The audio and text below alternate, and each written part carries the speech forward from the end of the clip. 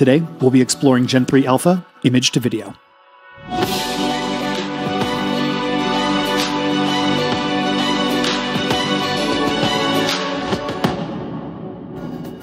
From your runway dashboard, click on Text or Image to Video,